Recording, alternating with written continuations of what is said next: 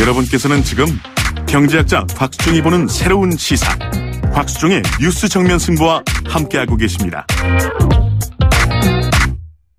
네, 뉴스 정면 승부 정치 길게 토크어바웃 시간 가지고 있습니다. 노동일 경희대학교 교수님과 배재대 정현정 교수님 두 분과 함께 말씀 나누고 있습니다. 청취자분들께서 보내주신 어, 문자들 중에서 어, 3518번님, 대통령의 무조건적인 지시로 강행된다면 과연 박근혜 정부의 제왕적 잘못됨을 비난하는 정권교체인지 의아스럽습니다.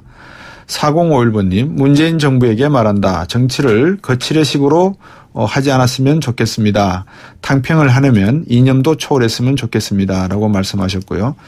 사, 아, 그 다음에 9644번님, 어, 대통령의 행보를 지금은 조금 더 애정 어린 눈으로 봤으면 좋겠습니다라는 말씀도 보내주셨고요. 어, 그리고 0271번님 탄핵된 대통령이라도 사생활까지 들춰내는 것은 좀 옳지 않은 것 같습니다. 라고 말씀하셨고 0712번님 미디어가 너무 문을 문 대통령을 띄워주는 분위기가 난 좀 지나치다는 느낌입니다. 라고 말씀하셨는데 이건 지나친 건 아닌 것 같고요. 어, 대통령이 당선되셨으니까 그리고 국민된 도리로서 또 축하도 해드리는 그런 것으로 이해하시면 어떨까 싶습니다. 3518번님은 어, 인수위 없이 국민의 민생경제 안보가 시급한 시기에 대통령이 당선되셨으니 당선 당선되셨는데 어 너무 개혁에 치중하다 보면 진정으로 중요한 민생 경제를 놓칠까 좀 우려가 됩니다라고 말씀을 주셨습니다. 아, 다 비슷비슷한 견해이신 것 같습니다. 이제 화제를 오늘 아침 아 오늘 아침이 아니죠. 오늘 앞부분에 1, 2부에서 인터뷰를 했습니다. 아 우원식 원내대표 그 다음에 이용호 정책위 의장 아, 인터뷰를 했는데 민주당, 국민의당 세 분의 대표 선출했죠. 재정비에 나서고 있는 여야 사당에 대해서 좀 말씀을 나눠볼까 합니다. 먼저 우리 정인정 교수님께 여쭤볼까요? 민주당하고 국민의당 당 정비를 하고 있고 또 원내대표 선출했는데 국민의당 김동철 의원이 선출되고 의원식 의원이 선출된 것이 의미하는 바는 뭐라고 보십니까?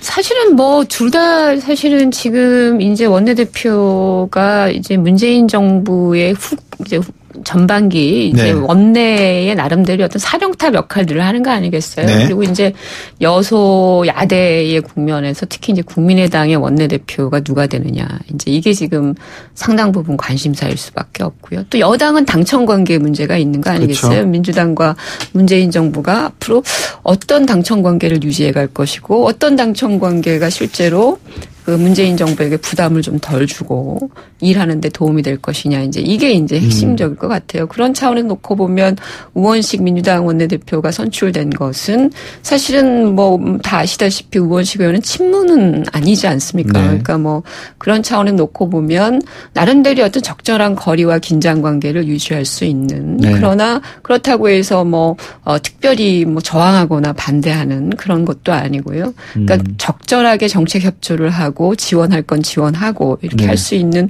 그런 구도는 우원식 원내대표를 통해서 갖추었다. 네. 최근에 뭐 추미애 당 대표하고 어 뭐 여러 가지 그 인선 과정에서 당 관계가 조금 좀 껄끄럽다 이런 얘기도 나오지만 예. 예. 실제로 이제 원내 관계는 조금 달라야 되는 것이 아니냐. 그러니까 예. 대통령의 핵심적인 사업이나 어떤 국정 운영의 내용들은 사실은 철저하게 사실 지원을 해야 되거든요. 네. 여당 입장에서 보면.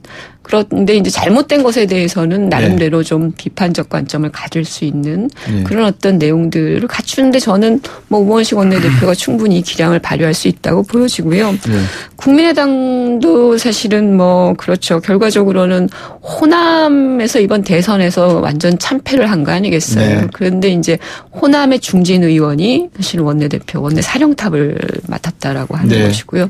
아마 이번에 이제 국민의당 내부에서는 김관영 의원 같은 어, 젊고 또 재선 의원인가요, 김관영 의원이. 근데 예, 그런 네, 차원에서 네. 어, 가기보다는 사실 이제 중량급 있는 사선 의원 네. 그리고 호남의 중진 의원들이 사실은 상당 부분 어, 음, 뭐좀 표를 준 것이 아니냐. 음. 그래서 좀 안정감 있는 운영을 좀 요구했던 게 아, 닌가라는 생각이에요. 뭐 네. 당, 당장 개혁하고 이런 거보다는 실제로 안정감 네. 있는 그런 운영에 방점을 찍은 것이 아니겠네. 다만 이제 그 김동철 신임 원내대표가 과거에 아마 바른정당과의 연대 문제에 대해서 조금 전향적으로 얘기한 적이 있었어요. 근데 조금 음. 최근에 또 입장이 바뀌었던 것 같아요. 물론 네. 당내에서 당내에서 실제로는 뭐 여러 가지 의견 수렴이 있어야 하겠지만 그 개인 김동철과 원내대표 김동철 입장은 좀 다를 수 있겠죠. 네, 이런 네. 차원에서 좀 달라졌다고 보는데 저는 그거 하나는 했으면 좋겠어요. 국민의당의 그 원내대표나 정책위장들 선거 참패를 너무 안일하게 해석해서는 안 된다. 음. 그래야 그 원내에서 제대로 된 원내 전략이 나올 수가 있거든요. 그냥 뭐 편하게 자신들의 방식대로 해석해가지고 원내 전략을 구상한다 그러면 사실 별로 다를 게 없을 텐데 네. 좀 혹독하게 선거 결과를 평가해야 되는 거 아니냐. 음. 그리고 현재 국민의당 수준을 좀 혹독하게 평가를 해서 원내 전략을 수립하고 그리고 원내 어떤 인사를 단행하는 이런 부분들이 저는 필요한 거라고 봅니다. 그 안철수 전 대표가 대선 출마의 의사를 또 다시 나타냈거든요. 비쳤단 말입니다. 어, 노현 교수님께서 보시기에 어, 안철수 대표의 그런 이야기, 재도전에 대한 어떤 의혹, 의, 아, 의혹 이런 것에 대해서 어떻게 국민의당이 말씀, 우리 정정 교수께서 말씀하신 대로 호남 베이스의 정당이었는데 좀 확장성 면에서 뒤떨어지지 않습니까? 어떻게 보십니까? 어, 기본적으로 이제 물론 이제 뭐 문재인 대통령도 재수했고요. 네. 지난번에 뭐 떨어졌다가 예. 이런 거니까 정치인들로서야 이번에 뭐 얻은 교훈을 바탕으로 해서 좀 더잘 네. 준비해서 네. 다음에 하겠다. 뭐 이런 것은 얼마든지 뭐 충분히 있을 수 있는 얘기죠. 네. 근데 한 가지 이제 좀 유의할 부분은 지난 대선을 통해서 지난 그 선거를 통해서 예. 과연 안철수 전 후보가 예. 대표가 다음에 가능성이 있는 대선자 주자로서의 음. 자질을 인정받았느냐, 네. 다음에도 할 수 있다 이런 국민적 어떤 느낌을 받았느냐 하면 저는 그렇지 않다고 생각하거든요. 어, 네. 뭐다 얘기하는 부분입니다만은 어쨌든 상당히 기대를 했는데 네. 그 기대가 여러 번의 토론을 통해서 보니까 너무 어떤 정치적 어떤 역량이 부족하다. 네. 예. 이런 것이 드러났다고 보거든요. 예. 그건 뭐 그 국민의당 내부에서 나온 얘기죠. 이상돈 네. 의원 같은 경우가 예. 당도 역량이 부족하고 예. 후보도 역량이 부족하다. 음. 그걸 5년 후라고 해서 이대로 간다고 해서 또 그걸 뭐 역량을 키울 수 있는 그런 가능성이 없어 보인다. 이렇게 네. 냉정한 평가를 했거든요. 네. 어, 그러니까 저는 뭐 개인적으로는 정말로 안철수 전 후보가 정치인으로서의 옷은 참 맞지 않는 것 같다는 생각 들어요. 예. 맞지 않다는 생각. 누구나 다 자기가 잘할 수 있는 적성이라는 게 있지 않습니까? 그렇죠. 폄하하는 게 아니고 네. 어, 적성이라는 게 있는데 음. 뭐 그런 것을 굳이 또 정치에서 발휘하려고 하면 네. 어, 적성이 없는 분야를 너무 어렵게 힘든 건 아닌가 그런 생각이 들고요. 네. 그럼 본인이 하겠다면 어떡하겠습니까? 5년 동안 5년 뭐 동안 정말 열심히 준비해서 예. 정치를 왜 하는가? 말려야죠. 못하게. 아니 저는 뭐 말릴 생각은 없고요. 아, 그러십니까? 본인이 하고 싶다는데 어떻게 예. 하겠습니까? 그러나 아, 예. 이제 저는 중요한 건 바로 그렇다고 생각합니다. 예. 왜 정치를 하는가부터 근본적인 물음부터 좀 모아, 물어야 한다고 생각합니다. 예. 한때 그 먼저 2012년도 그 원저리에서 갑자기 여론조사가 막 이상하게 뭐 나오니까 네네. 그게 네. 뭐 거기에 이제 휩쓸려서 나온 이른바 부름받고 나온 그런 사람인데 그 부름받은 것이 정말 소명으로서의 정치를 자기가 가지고 있느냐 네. 이런 점부터 좀 다시 물어야 한다 생각하고 예, 예. 그렇게 되려면 만약 그 부름에 그렇다고 내가 정치로 소명을 받았다 생각한다 이렇게 생각한다면 밑바닥보다 정말 정비해 나가면서 음. 지금까지 사실 그런 기회가 없었거든요. 네네. 없었고 그냥 너 옆 높은 여론조사를 바탕으로 해서 예. 여론조사 높으면 1위 하고 낮으면 1위 하고 타고 다녔죠. 예, 예. 그냥 1위 1비 하는 그런 차원에서 정치를 했으니까 음. 이제부터는 정말 어 대선 마지막에 했던 것처럼 국민들과 함께 부대끼면서 국민들이 원하는 바가 뭐고 네. 국민들이 정치 바라는 바가 무엇인가 네. 안철수에게 바라는 바가 무엇인가 하는 것들을 하나하나 깨쳐나간다면 뭐 국민들이 5년 후에 가 다시 재평가할 수도 있는 거니까 뭐 그럴 수 있다고 생각합니다. 문제는 이제 아까 우리 정현영 교수 얘기하신 것처럼 국민당 차원에서 네. 과연 그럼 안철수 전 후보가 네. 앞으로 5년 후에도 그럼 국민의당을 바탕으로 해서 출마할 것인가? 네. 저는 아니라고 생각합니다. 아, 앞으로 5년 내에 무슨 저 정치 권의 변화가 있을지 네. 모르겠고요. 네. 지금으로선 당장 대선이 끝나고 이제 또 선거가 없으니까 네. 뭐, 뭐 연대하자 뭐 하자 이렇게 좀 한가한 얘기가 나오는데 네. 내년 당장 지방선거를 거치면서 또 한번 근본적인 변화가 있을 겁니다. 네. 어느 당 바른정당이든 국민의당이든 만약 광역단체장이든 기초단체장이든 별로 가능성이 없다 싶으면 네. 이건 굉장히 큰 변화가 또 예정돼 있는 거거든요. 네. 바른정당에서 한국당으로 옮긴 의원들이 뭐라 그랬습니까? 기초단체장들이 지금 기초 의원들이 다 난리다. 지금 탈당하고 있다. 네. 그래서 지역 기반이 허물어진다는 얘기 아니었습니까? 예. 그러면 그 다음에 국회의원 선거도 보나만 하거든요. 네. 지역 기반이 없어지면. 그렇죠.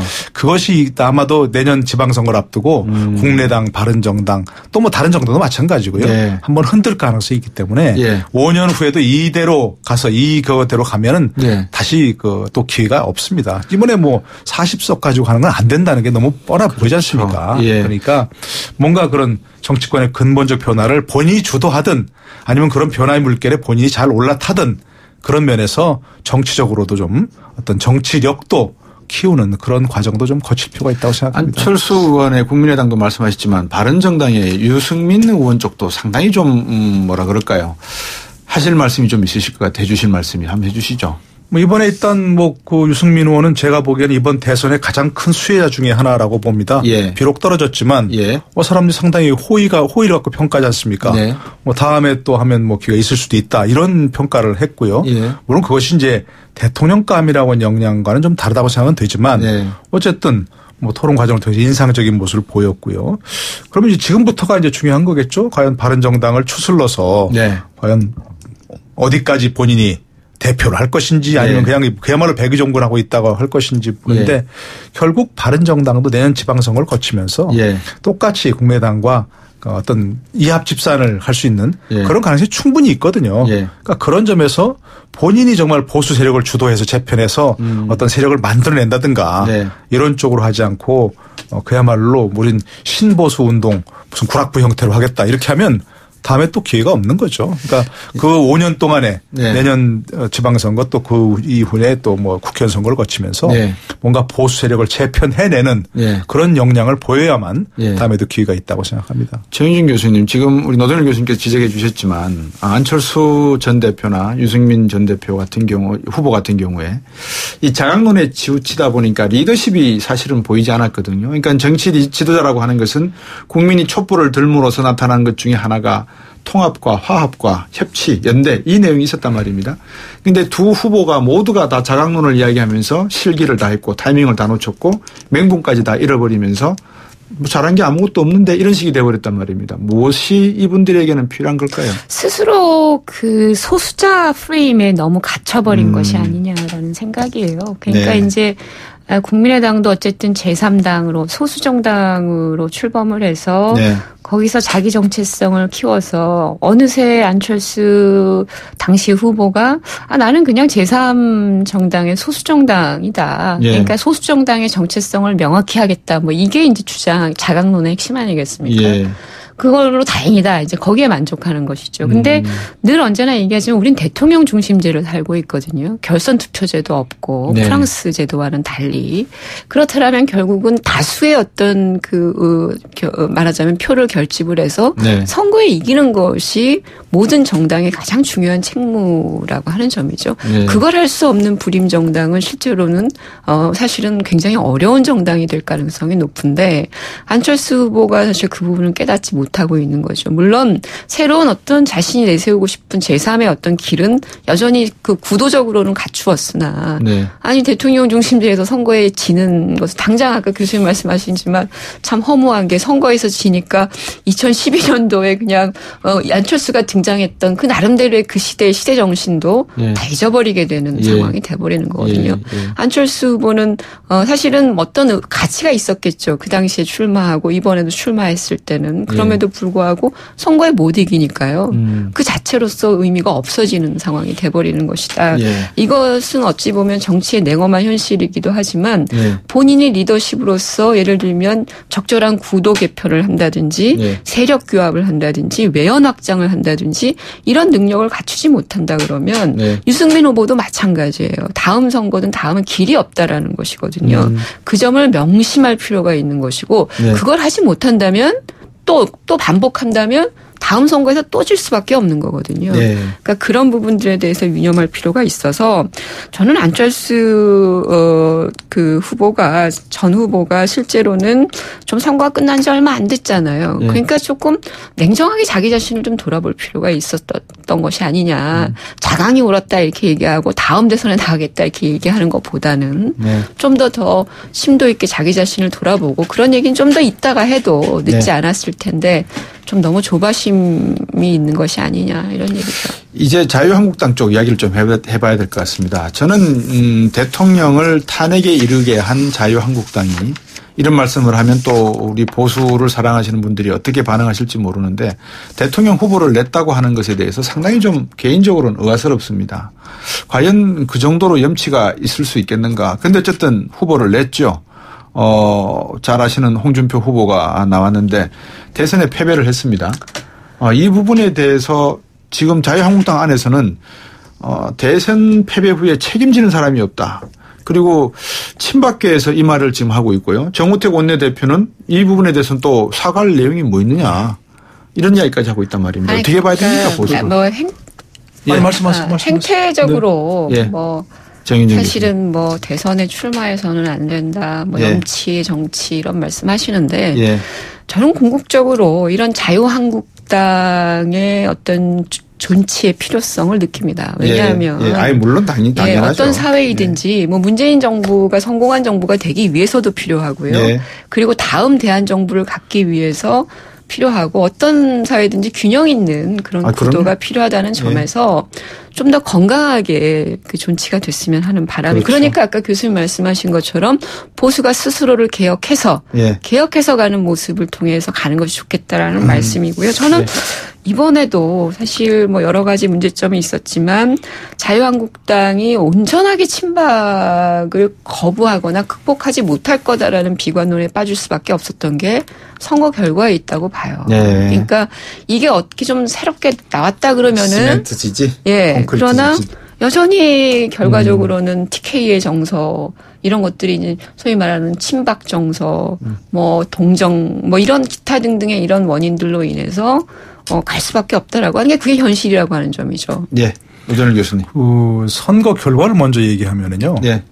홍준표 후보가 예. 일찌감치 패배를 선 인정하면서 예. 아 그러나 보수를 재결집한 것으로 만족한다. 그랬죠. 웃음 띄었지 않습니까? 예. 전 그게 지금 자유한국당 분위기라고 생각합니다. 하하. 아 완전히 망할 줄 알았는데 그래도 24%이 정도는 어디야. 예. 그리고 보니까 뭐 자신들의 지역 기반이라고 할 수 있는 TK 영남 지역에서 예. 뭐 경남까지 좀 포함한다면 예.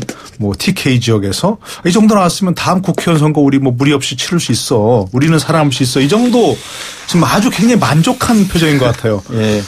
이런 것은 만약 이렇게 패배한 정당이라면 지금 뭐 난리 났어야 되는 거거든요. 그죠. 뭐 정말 뭐 당장 물러나셔야 뭐 싸움도 일어나고 누구 때문에 이게 졌다는가 하면 그런 게 일어나야 되는데 별로 없지 않습니까? 뭐 네. 그거 없이 그냥 다들 웃음 만면에 웃음을 띄우는 그런 표정들이에요. 그러니까 그렇게 만족하고 있는 것 같아요. 음. 완전히 개멸될 줄 알았는데 24%가 어디야 이런 말인 것 같고 두 번째는 그러니까 장래가 불투명하다는 겁니다. 보수의 장래가. 네. 과제가 바로 그건데요. 예. 홍준표 후보가 지금 미국으로 떠나면서 하는 얘기가 뭐였습니까? 앞으로 종북 좌파 뭐 이렇게 또 거기서 대결 이런 식으로만 계속 그 계속해서 종북 좌파 하면 네. 모여드는 이런 사람들만 대상으로 정치하다 보면 이제 정, 보수의 미래는 없어집니다 이제는. 예, 예. 이번에 딱 24% 얻었지 않습니까? 예. 그게 이른바 한 67세 이상 이른바 올드 보수들 정말 네. 뭐 어떤 지역에 특정한 뿌리를 둔 그런 보수들 저 인거가 딱 맞아 떨어집니다. 그렇죠. 이런 분들은 지금 사라지는 추세예요. 네. 우리 같은 예를 들어서 60대부터 벌써 옛날에 민주화 세대고 그렇기 네. 때문에 그냥 종북좌파 그러면 무조건 알레르기 일으키고 그냥 한쪽으로 음. 모여드는 그런 시대는 이미 지나가고 있거든요. 네. 그럼에도 불구하고 앞으로 보수 재결집을 또 하겠다 하면서 종북 좌파 얘기하는 건 보수의 미래가 없다. 감사합니다. 뉴스 정면 승부 정치 길게 토크어바웃 늘 시간이 짧다는 것을 좀 아쉬워하면서 오늘도 말씀 여기까지 드려야 되겠습니다. 경희대학교 노동열 교수님, 배재대 공공정치학과의 정희윤 교수님 두 분께 감사드립니다. 고맙습니다. 네, 감사합니다. 고맙습니다. 네, 오늘 준비한 내용 여기까지고요. 저는 곽수정이었습니다. 내일 또 뵙겠습니다. 고맙습니다.